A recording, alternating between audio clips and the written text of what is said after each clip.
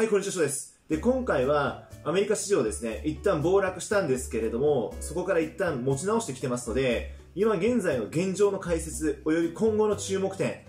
どういったところに注目したらいいのか、あとは、なんで日経平均が今回ですね、あまり下がらなかったのかっていう理由の解説、いろいろとしていきたいと思っておりますので、よろしくお願いいたします。で、僕のチャンネルでは、マーケットニュースであったりとか、テクニカル分析の実践的な使い方、あとは米国株の情報、そういったものを皆様にシェアできたらと思っておりますので、まだ僕のチャンネル登録されていない方いらっしゃいましたら、ぜひともまずチャンネル登録からしていただければと思いますので、よろしくお願いいたします。はい、じゃあまずは最初にいつも通りですね、マーケットの現状、そこから確認していくんですけれども、で、ここでですね、やっぱし一番注目されるべきところは、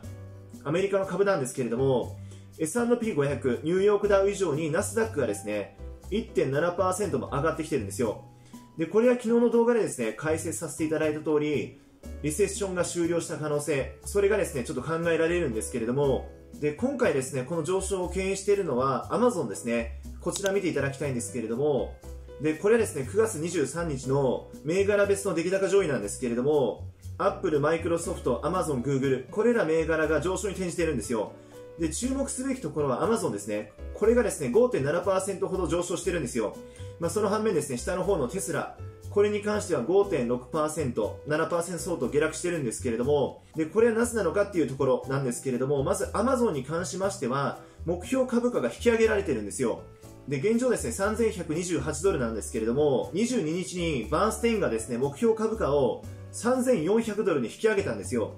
これがきっかけで5.7%ほど上昇しているという形です。じゃあなんで逆にテスラがこれだけ下落したのかっていう理由なんですけれども、それはですね、こちらの記事を見ていただきたいんですけれども、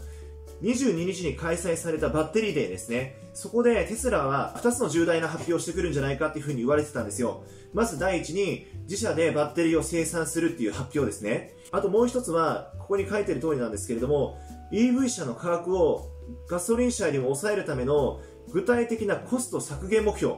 この2つの発表されるんじゃないかっていう期待があったんですよ。それが両方とも今回なかったんですよね。なのでテスラの株は失望利に押されてこれだけ下落してしまったという形ですね。全くアマゾンと対照的な値動きをしている。まあここはですね、ちょっと注目すべきところなんじゃないかなというふうに思うんですけれども、じゃあここでですね、一旦ナスダックのですね、テクニカル分析またしていくんですけれども、こちらのチャートを見ていただきたいんですよ。で、まず最初に MacD 見ていただきたいんですけれども、一旦ですね、底落ちそうな形のチャートをしてるんですよ。で、次にですね、一問均衡表を見ていただきたいんですけれども、今回のこの上昇で雲の上限を上回ってきているんですよ。上の緑のラインをですね。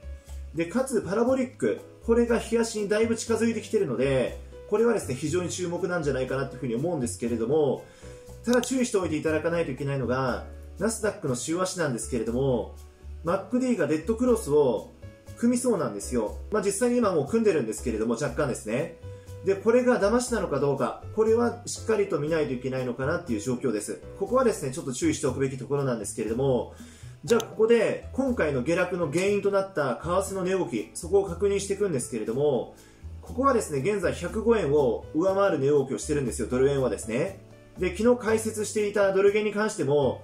今回また上昇に転じてきてるっていう形なんですけれども、で、今日までの値動きに関しては、昨日ですね、予測していた通り、やっぱしですね、円安の方に若干触れてきたっていう形ですね。昨日の動画で、ドル円とドル元、中国の元ですね、通貨。それの連動性。ドル元が MacD でゴールデンクロスを組んだので、ここから一旦トレンド変換して、円安の方に行く可能性、それも考えられるということですね。昨日の動画で解説してたと思うんですけれども、それがですね、目先当たってきてるっていう状況ですね。で、ここの値動きに関しては、僕はですね、ドル円とドル元、この2つの連動性、やっぱしですね、今回の下落に関しては、注目しておかなければいけないんじゃないかなっていうふうにずっと思ってるんですけれども、ただこれは僕の意見なので、もしですね、違う意見をお持ちの方いらっしゃいましたら、ぜひともコメントいただければなっていうふうに思いますので、よろしくお願いいたします。じゃあ他の指数ですね、どうなのかっていうところなんですけれども、VIX に関しては昨日予想していた通り、一旦下落して、恐怖指数っていうのは低下してきているような状態なんですよ。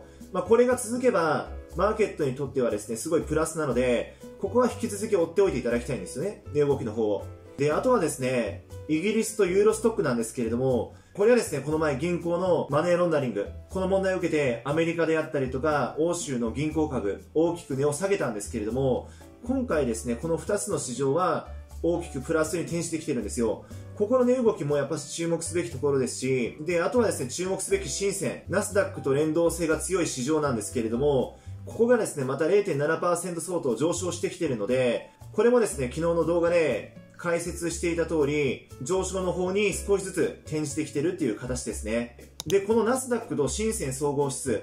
この2つの市場の連動性、もうそれすごい僕注目してるんですけれども、この値動きはしっかりと追っておいてほしいんですよ。今の世界の二大市場はアメリカと中国なので、で、もしかしたら将来的には中国はアメリカを越すかもしれないですからね。そうなってくるとマーケットの中心は中国っていう形に変わる可能性、やっぱそれもですね、近い将来、遠い将来、いつになるかわかんないですけれども、やっぱし今の勢力図を見ると十分考えられるので、そこはですね、もう皆さんしっかりと覚えておいていただきたいんですよ。じゃあここでですね、なんで日経平均、アメリカがですね、今週大きく下げたのに一旦、今日小幅に下落で終わったのか、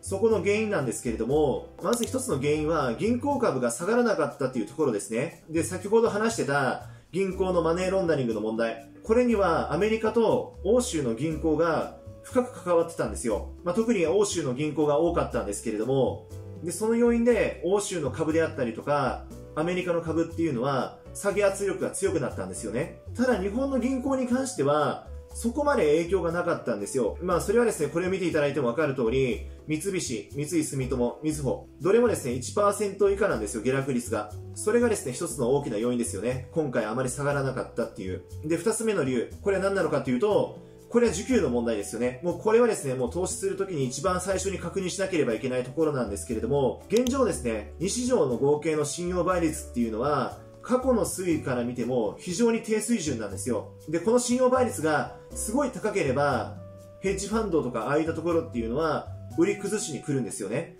ただそれが過去最低水準っていうところで、現状推移してるので、それをですね、今売り崩したとしても、そんなに旨味はないんですよ。かつ今回の下落ですね、日経平均が3月に大底をつけて、今月でちょうど半年なんですよね。で、大底をつけた3月のタイミングで、そこで空売りをしていた人たち、今月の9月ですね、半年経つんですけれども、信用の期日が来るんですよ。なので、空売り税の買い戻しの圧力、それが強い月が今月なんですよ。で、そういったこともあって、今回下げは限定的だったんじゃないかなっていうふうに思います。なので、日経平均が今回これだけしか下がらなかったっていうのは、需給ですよね。そこに助けられたところが非常に大きいんじゃないかなっていうふうに思ってます。で、この信用倍率に関しては、僕が投資するときに、まず一番最初に確認するところなんですよ。で、僕がですね、過去投資で負けた時っていうのは、大概この需給が悪い時、このタイミングで投資した時なんですよね。で、この過去の失敗したケースの詳しい内容、それについては、過去動画に載せておりますので、それもですね、概要欄の方にリンクを貼っておりますから、もしですね、興味あられる方いらっしゃいましたら、ぜひとも一度見ておいていただけたらなっていうふうに思います。で、それを見ていただいたら、どういったタイミングで投資しちゃいけないのかっていうのが、すごく分かっていただけると思いますので、僕はですね、あの動画すごいですね、参考にしていただけるんじゃないかなっていうふうに思っておりますので、よろしくお願いいたします。で、ここで一度、日経平均のテクニカル分析をしていくんですけれども、ボリンジャーバンドについてはバンド幅がそこまで拡大しているわけでもないですし、まあ、RSI に関しても変な動きしてるわけでもないですし、ストキャスティックスも一旦ですね、加熱のラインを下回ってきてるので、ここに関しては問題ないのかなっていうふうに思ってるんですよ。で、相場のトレンドを表す3つの指標ですね。それを見ても、現状パラボリックは下の方にドットチャートがついてるので、まあ、上昇トレンドは継続してるっていうふうに判断できますし、で、日足に関しても一目均衡表の雲のですね、上の方で推移しているので、まあ、上昇トレンドは継続しているのかなっていう状態ですね。ただ注目していただきたいのが MacD。これがですね、現状デッドクロスを組んでるんですよ。まあ、ここに関しては騙しかどうかっていうのはちょっと見ておかないといけないのかなっていうふうに思うんですよね。まあ、どちらにしても日経平均が上がるか下がるかっていうのは結局のところアメリカ次第なので、そこはですね、アメリカの株式市場、これを重点的に分析してあげるっていうこと、これをですね、しっかりとしてあげたら、うまくですね、相場のトレンドを掴んでいただけるんじゃないかなっていうふうに思ってます。で、今日のマーケットの動向を見ての結論なんですけれども、昨日ですね、僕が解説していた転換点の予想ですね、こういったタイミングで上昇に転じるんじゃないかっていうところが大体当たってるような状態なんですよ。なのでその想定からするとここからですねある程度値を戻してくる可能性っていうのはあるんですけれども一番最初に言ったナスダックの週足の値動き MacD でデッドクロスを組む可能性があるっていうところあそこには一番ですね、注意を払っておく必要があるんじゃないかなっていうふうに思ってます。あれがですね、明確に下落トレンドを取ってくるようだったら、やっぱしまたですね、相場の方は調整する可能性がありますので、そこはですね、皆さん注意深く見ておいていただきたいと思うんですよ。その値動きに関しましては。ただ日本のマーケットに関しましては、さっき言った通り需給のところ、今ですね、売り崩したとしても、あんまり美味しくないので、機関投資家にとってはですね、